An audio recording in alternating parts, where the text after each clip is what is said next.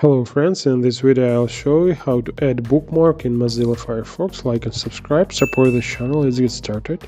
So we have a favorite website and you want to save it for future visits.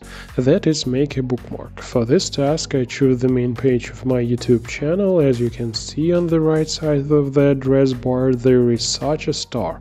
It's a bookmark sign, click on it.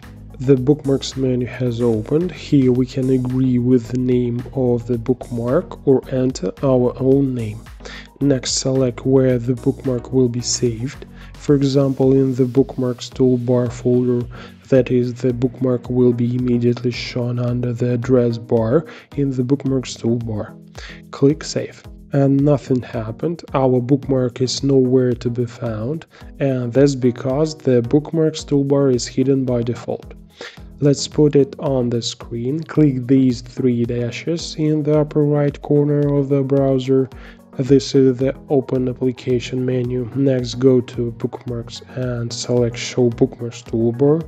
The Bookmarks toolbar appeared, and with it, our bookmark on the left side. If when saving bookmarks we had selected the bookmarks menu folder or the other bookmarks folder or some other subfolder that we can create right here, then our bookmark would be hidden in one of these folders in the bookmarks management menu.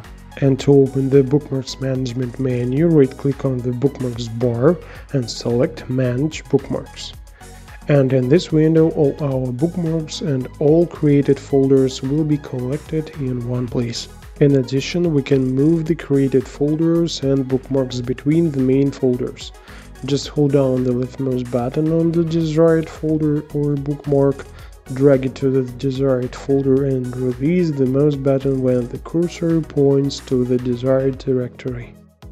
To delete a bookmark, you can do it here in this window by right-clicking on the bookmark and selecting delete bookmarks or directly on the bookmarks toolbar by simply right-clicking on the desired bookmark and selecting the same. That's all I wanted to say, now we know a little more, thanks for watching.